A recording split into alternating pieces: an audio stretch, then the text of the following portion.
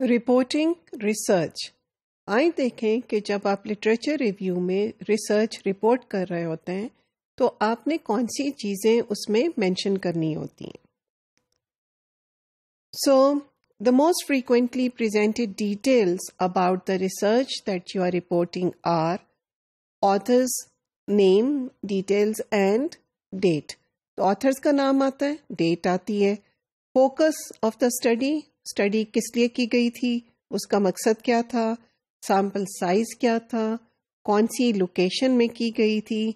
और किस कॉन्टेक्स्ट में की गई थी रूरल या अर्बन? यूजुअली ये बेसिक डिटेल्स आप देते हैं।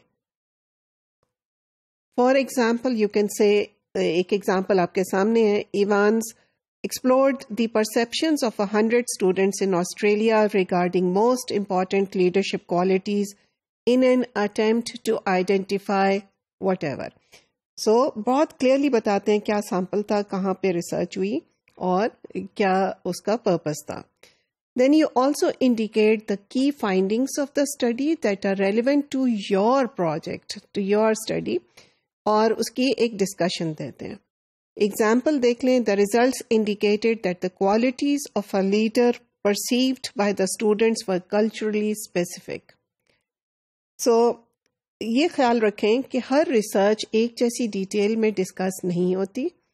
Only the research that is most relevant will be discussed in more detail बाकी का हम कम से कम उसका उसी हिसाब से उसकी कम से कम डिटेल देते जाते हैं।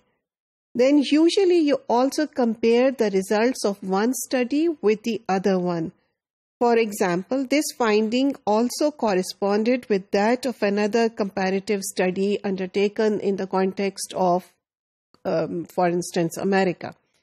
तो इस ये आप जब कंपैरिजन करते हैं एक स्टडी का दूसरी स्टडी की फाइंडिंग्स के साथ तो एक आर्ग्यूमेंट सी बनती है या एक चेन ऑफ़ एविडेंस जिसे हम कहते हैं वो बन जाती है उससे पढ़ने वाले के लिए आसान हो जाता है यह देखना कि किस तरह से एक चीज़ दूसरी चीज़ से लिंक कर रही है और क्या आर्ग्यूमेंट बिल्ड हो रही है। So that is very important और प्लीज़ इसमें फिर वही मैं बात कहूँगी कि ख्याल रखें कि हर चीज़ को एक जितना डिस्कस नहीं होती, जो चीज़ें आपसे बहुत ज़्यादा रेलिवेंट नहीं है, लेकिन रिसर्च इंपॉर्टेंट है, उसको आप सिर्फ़ ऑथर का नाम दे के और उसका ईयर दे के तो वो भी आप कर सकते हैं लेकिन usually for the more important studies these are the things that must be mentioned in your literature review.